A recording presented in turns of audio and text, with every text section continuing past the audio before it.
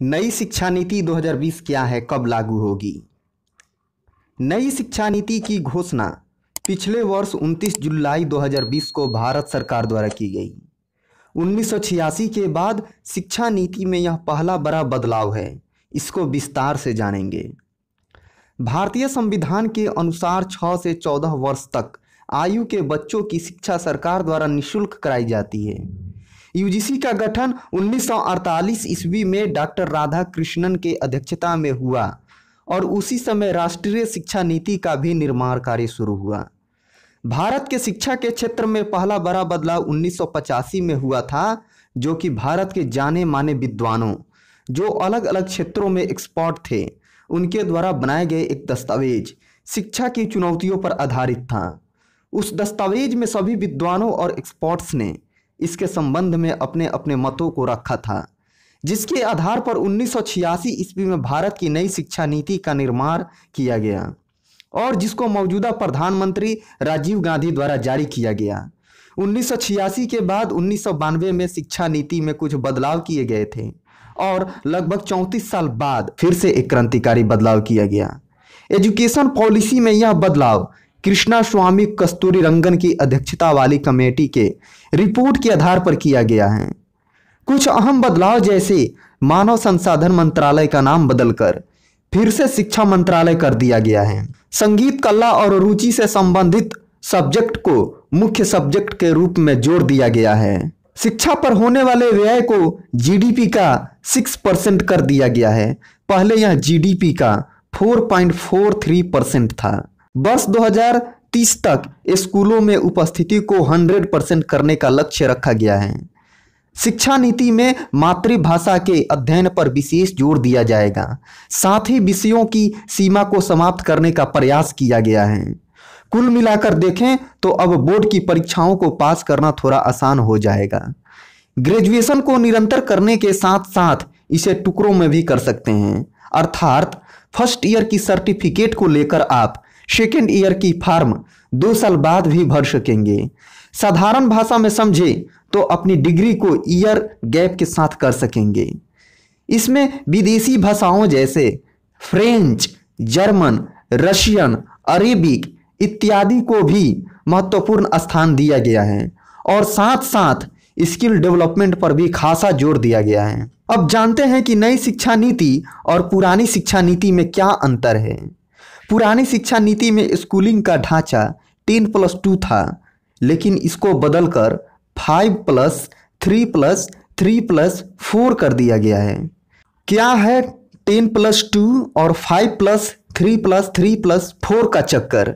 इसको भी जानते हैं। पुरानी शिक्षा नीति के टेन प्लस टू वाले ढांचे में दो भाग हैं, टेन और टू।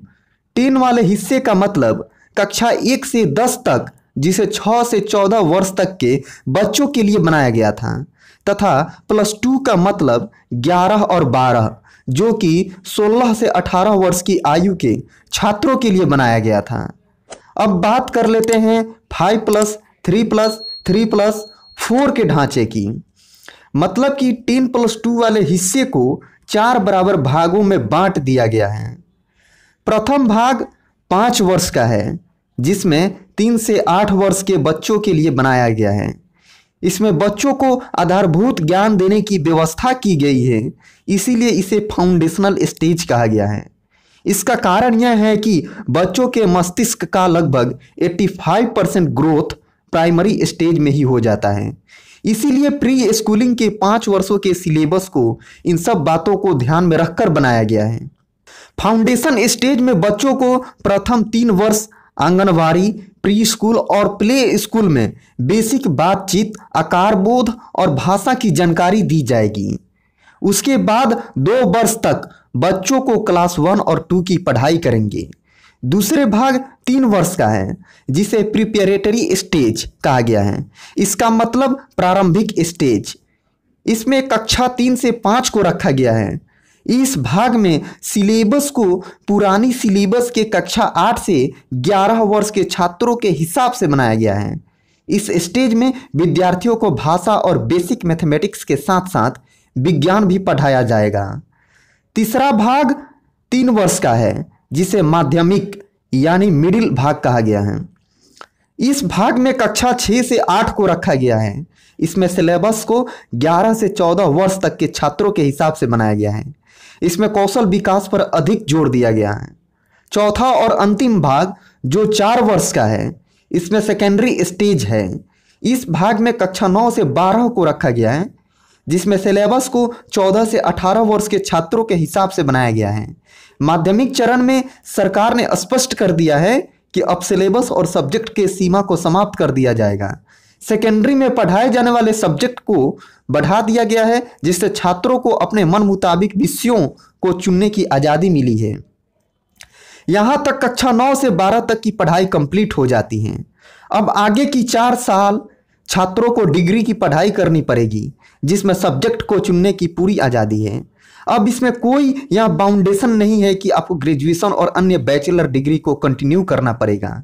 मान लीजिए आपने एक साल का बैचलर डिग्री कर लिया है और किसी विषम परिस्थिति जैसे फाइनेंशियल कंडीशन या हेल्थ प्रॉब्लम के कारण बीच में पढ़ाई को स्किप करना पड़ता है तो आप आगे ऐसा कर सकते हैं। अपने मार्कशीट को लेकर पुनः दो वर्ष बाद या कितने भी टाइम के बाद अपनी पढ़ाई को कंटिन्यू कर सकते हैं। इस प्रकार हम देखें तो न्यू एजुकेशन पॉलिसी को पूरी तरह से छात्रों के हित में बनाया गया है।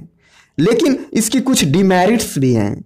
राज्यों के सहयोग के बिना नई शिक्षा नीति को सही ढंग से लागू नहीं किया जा सकता है, क्योंकि हर राज्य का अपना स्कूल बोर्ड होता है।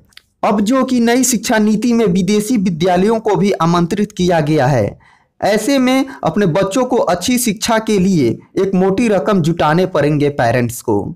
अधिक आय वर्ग के पेरेंट्स के लिए यहाँ तो कोई समस्या नहीं होगी।